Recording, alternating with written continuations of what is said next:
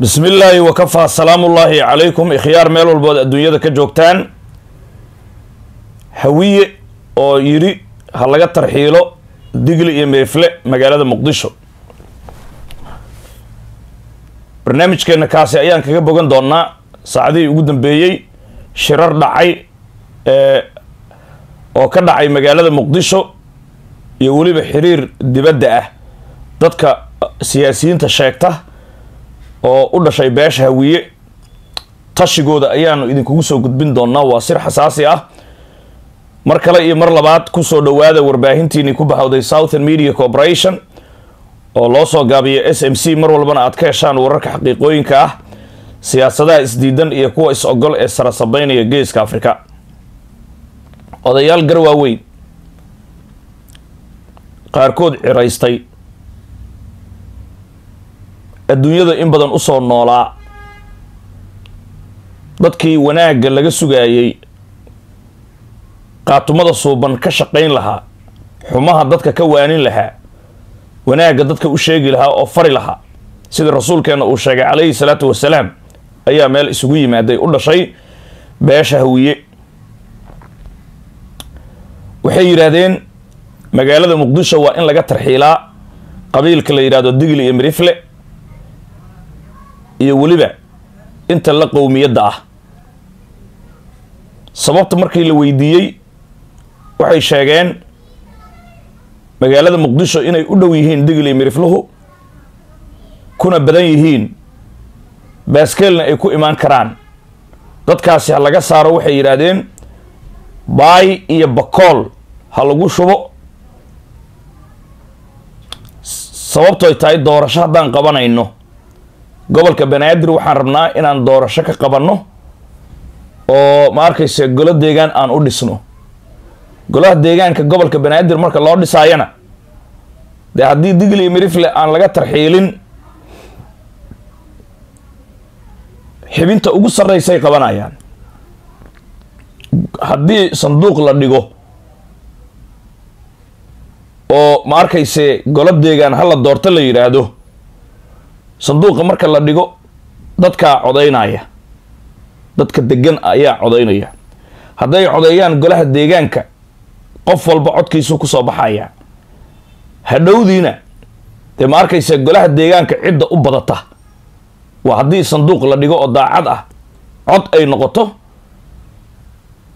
dee xildhibaanada ugu badan ayaa guddoomiye dooranaya guddoomiyaha gobolka. Guddoomiyaha gobolku madaxweyne ma magacaabaya markaas doorashadaasi digli mirifla soo baxaya marka. Marka governorka gobernatoraha gobolka banaadir haddii digli mirifle aan laga saarin meesha qaabka doorashadaasi la rabo waxaa soo bixi doona qowmiyadda maryland. Waxay ku noqon doontaa arrinta sidii kun sagaal boqol iyo kontonkii xaaji cumar sheegow wiilkiisii cali cumar sheegow uu ahaa guddoonkii ugu horreeyey ee gobolka banaadir dowladdii daakhiliga marka si taasi aanay u dhicin waxay dhaheen dadkan magaalada muqdisho ha laga tarxiilo baay iyo bakool ha lagu shubo. Shabeellada hoose xataa yaan wax laga dejinin wixii digli mirifle ah ha la fogeeyo. Si saameyn aanay ugu yeelanin doorashada lagu qabanayo gobolka banaadir ee golaha deegaanka. Waxay yidhahdeen dir waxba kama ahan. Danwadaag ma noo xisaabsana iyagu sida ay yidhaahdeen waayo danwadaag koob nagaga cadi maayaan nooma xisaabsana. Waa banaadiriga iyo jareerweynaha la ysu geeyey oo dadkii banaadirba loogu magac daray.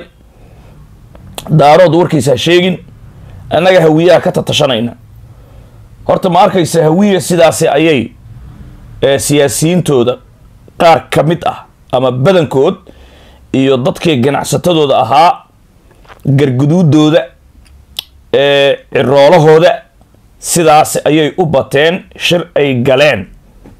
Qaarkoodna maba qarinoo waxaan rajaynayaa idaacadaha wayba la soo fadhiisteen yani wax qarsoon maahan waxaan ka hadlaayo. Dadka qaar waxay nagu yidhaahdaan macalinka lugeeyow dadka waad isku dirtaan adinku. Isku dirna looma baahna. Haddii annagu dad iskuma dirayna ee waxaan ka hadlaynaa reality xaqiiq wax taagan baanu ka hadlaynaa. Wax tusaalooyinkooda la arki karaan ka hadlaynaa wax macnihii hawiyaha siyaasiyiintooda ay ku shireen qaarna ay la soo banbaxeen odayaashooda ayaanu ka hadlaynaa. Horaan ayay ahayd markii wasiirka arrimaha gudaha soomaaliya uu sheegay in uu doonayo in doorasho qof iyo coda uu ku qabto gobolka banaadir maamul loo dhiso. Geesta kale magaalada baydhabo gobolka baay kantarool ku yaalla oo la yidhaahdo cali camxaar waxaa lagu qabtay saacadihii la soo dhaafay sagaal iyo toban qori ayaa lagu qabtay. Qoryahaasi ciidamada belayska iyo sirdoonka qaranka maryland ayaa dhab siiyey. Gaari nuuca loo yaqaano noohada ayay saarnaayeen qoryahaasi. Toddobiyo toban a k forty seven iyo laba daba jeex ayay ahaayeen. Markii la qabtay raggii waday noohada macnihii qoryuhu jawaano ayay hoos kaga jireen. Waxaa la weydiiyey meesha ay u wadeen cidda u soo dhiibtay wixii oo dhan way sheegeen. Waxay yidhaahdeen waxaan ugu talagalnay in bisha ramadaanka marka la gaaro aan ku cibaadaysano hoteelada ugu caansan magaalada baydhabo oo macnihii offensive weerar aan ku qaadno oo dadka aan ku layno aan burburino magaalada aan khalkhal gelino nafaf fara badan aan dilno sidaasaa naloo soo diray yidhaahdeen.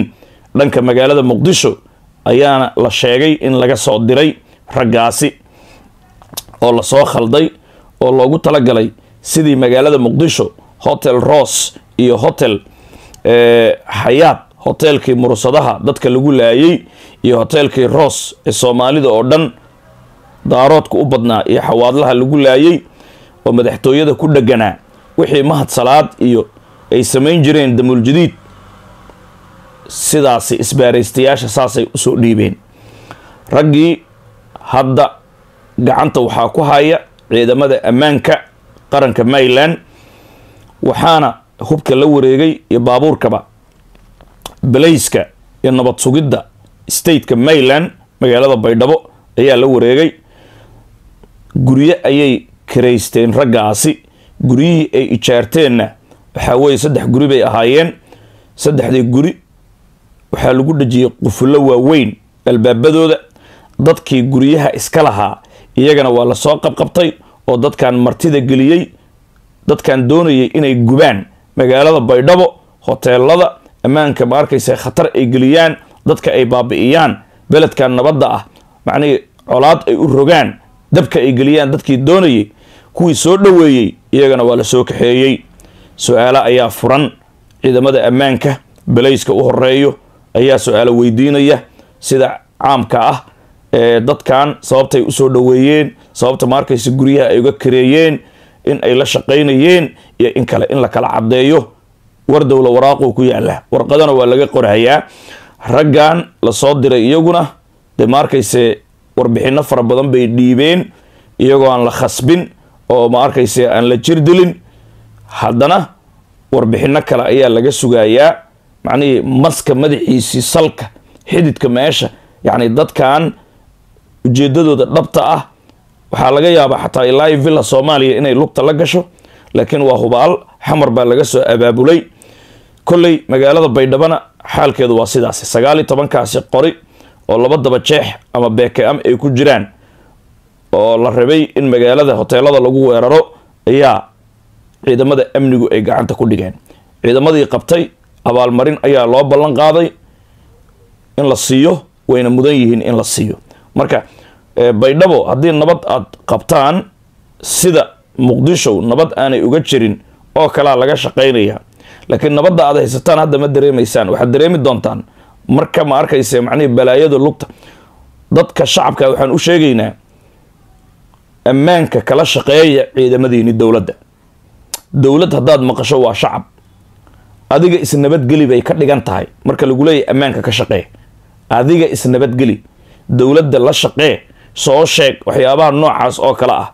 Maxaa yeeley haddii adigoo macnihii suuqa u socda qarax uu dhaco dhibaataa kugu sugan. Dukaankaaga haddii la qarxiyo dhib gurigaaga haddii la qarxiyo dhib rasaasta dhib mar walba shacabka dhibaatay qabayaan iyagaa u nugul. Intaasaan ku soo koobi doonaa haddii allah awoodda ka raali noqdo. Tarxiilka laga tarxiilaayo digli iyo mirifle oo hawiye ay rabaan inay ka tarxiilaan magaalada muqdisho. Su'aasha isweydiinta le waxaa weeye digli iyo miriflaha ma laga tarxiili karaa magaalada muqdisho oo soodintiisu ay tahay ilaa iyo arbac rukun mayland ay tirsanayso xamarna boqolkiiba toddobaatan ama siddeetan ciidan iyo shacabba iyagu ay u badan yihiin. Hawiye waxay ku fakarayaan sidii daaroodka kun sagaal boqol koob iyo sagaashankii xamar looga qaxiyey utanga iyo kakuma xeryaha loogu shubay digli mirifle sidaas inay yeelaan bay ku fakarayaan. Ma shaqayn doontaa mise ma shaqayn doonto? Digli mirifle u taallaa muuqaalkan muuqaalka xiga ka hor firdowsa